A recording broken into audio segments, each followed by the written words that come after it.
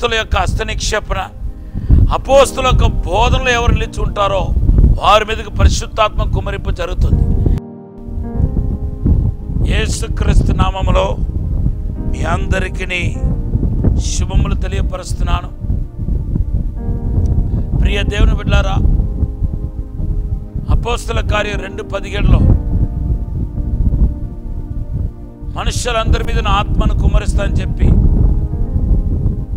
రెండు వేల సంవత్సరం అయింది. యోవేలు ఎప్పుడో ప్రవచించాడు. తర్వాత అపోస్తులు మరలా దాన్ని జ్ఞాపకం చేస్తూ మనుషులందరి మీద దేవుని ఆత్మ కుమరించబడుతున్నారు. ఇంకా మీలో అనేక మంది దేవుని ఆత్మతో నింపబడకుండా అభిషేకించబడకుండా మీ హృదయం కఠినమవుతూ వస్తున్నాయి. దీని కల కారణం ఏంటో ఒక్కసారి మీరు ఆత్మ పరిశోధన చేసుకోవాలని చెప్పి ప్రభు పేరిట మనవి చేస్తున్నాను. లూకాస్ వార్త పదకొండు పదమూడులో అడుగుతున్న వారికి ఎంతో నిశ్చయముగా తన ఆత్మను కుమరిస్తానని తన ఆత్మను ఇస్తానని యేసు వారు వాగ్దానం చేస్తాడు మరి ఈ వాగ్దానం ఎందుకు మీ జీవితంలో నెరవేర్చబడలేదు? ఏంటి ప్రాబ్లం అని ఆలోచిస్తే జస్ట్ నేను ఈ మాటలు మీకు ఈ యొక్క ఫైవ్ మినిట్స్ వాక్యజానం ఇస్తూ ఉండగా మూడు విషయాలు నా మైండ్లోనికి పరిశుద్ధాత్మ దేవుడు తీసుకొస్తున్నాడు. మొదటిది ఏంటంటే యోవాన్ స్వార్థ పద్నాలుగు పదిహేడులో లోకము ఆయన ఎరుగుదు గనక ఆయన పొందనేరదు. మీరు ఆయన ఎరుగుదురు గనక ఆయన మీలోను మీతో నివాసం చేయనని రాయబడి ఉంది. అంటే పరిశుద్ధాత్మ దేవుణ్ణి గురించిన అవగాహన ఎరగటం అనేది మీకు లేకపోతే మీకు తెలియకపోతే పరిశుద్ధాత్మ గురించిన బోధన మీ మీకు అందించబడకుండా అవగాహన లేకుండా ఉంటే కనుక పరిశుద్ధాత్మ దేవుడు మీలోనికి రాడని విషయం మనకు అర్థమవుతుంది. చూడండి ఒక వంద రూపాయల కాగితాన్ని చండి బిడ్డల దగ్గరికి ఇస్తే చింపేస్తారు. అదే వంద రూపాయల కాగితాన్ని ఒక పెద్దోళ్ళ దగ్గరికి ఇస్తే దాచిపెడతారు. కారణం ఏంటి? వాళ్ళిద్దరిలో తేడా ఏంటి? అంటే చండి బిడ్డలకు ఆ వంద రూపాయల విలువ తెలియలేదు కాబట్టి దాన్ని చింపే చింపేయటం అనేది జరుగుతున్నాయి. అందుకొరకే వంద రూపాయల కాగితాన్ని లేకపోతే డబ్బుని చంటి బిడ్డల చేతిలో ఎవరు? దేవుని బిడ్డలారా దేవుడు కూడా పరిశుద్ధాత్మ దేవుని గురించిన అండర్స్టాండింగ్ పరిశుద్ధాత్మ కురిచిన బోధన మీకు తెలియాలని ప్రభు కోరుకుంటున్నాడు. రెండవదిగా అపోస్తుల కార్యం ఒకటి పద్నాలుగులో చూస్తే ఎడతేగకుండా ప్రార్థనలో ఉంటూ కనిపెట్టారు ఆసక్తితో కనిపెట్టారు. అందుకొరకే పరిశుద్ధాత్మ కుమరింపు వెంటనే జరిగినట్టుగా మనం చూస్తున్నాం.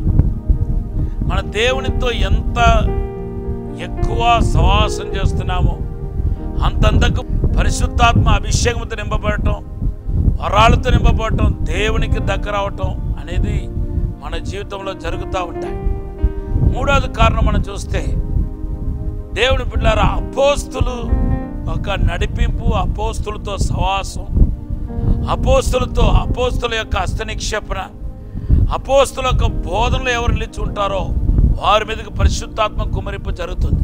ఈ నూట ఇరవై మందిలో పన్నెండు మంది అపోస్తులు రిమైనింగ్ పీపుల్ అంతా నార్మల్ పీపుల్. వీళ్ళందరూ ఎవరితో ఉన్నారంటే ఆ అపోస్తులతో పాటు ఉన్నారు. అలాగే అపోస్తుల కార్య పదాధ్యాయ నలభై నాలుగు నుండి నలభై ఆరు వచనాలు చదివితే కొర్నేలి ఇంటికి అపోస్తులైన పీట పేదరు పంపించబడ్డాడు. అక్కడ పరిశుద్ధాత్మ కుమరింపు జరిగింది.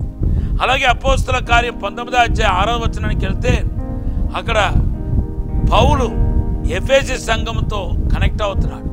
అక్కడ పరిశుద్ధాత్మ కుమరింపు జరుగుతుంది. కాబట్టి ఎక్కడ పరిశుద్ధాత్మ కుమరింపు ఉంటుందో అక్కడ అపోస్తులు ఉంటున్నారు.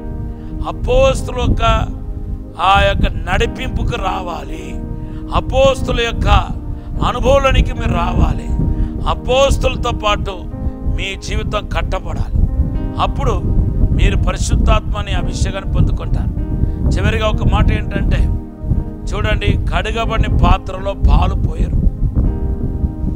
ఒకవేళ కడిగేసి పెట్టినా మరలా ఏం చేస్తారంటే అది కడగబడిందా లేదా పాలు పట్టుకోవటానికి ముందు కడగబడిందా లేదా అని ఒక్కసారి పరీక్షించుకొని అప్పుడు పాలు పోస్తారు.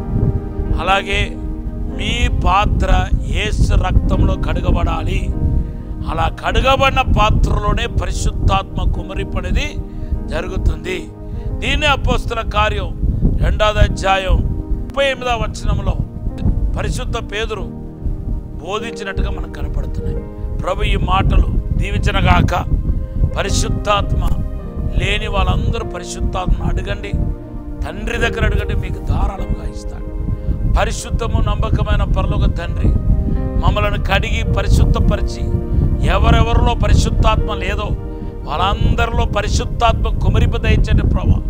హృదయానికి కట్టిగి ప్రతి ఒక్కరిని అభిషేకించి బలంగా వాడుకోమని. అయ్యా పరిశుద్ధాత్మ నింపుదల దయచేయమని ఆశ్రయించు యేసు నామలు అడిగి వేడుకుంటున్నాము తండ్రి. ఆమె హ్యావ్ ఎ బ్లెస్సడ్ డే దేవుడు మన దీవించిన గాక. యశాకృత యాభై తొమ్మిది ఇరవై ఒకటి మీ వాగ్దానం. God bless you.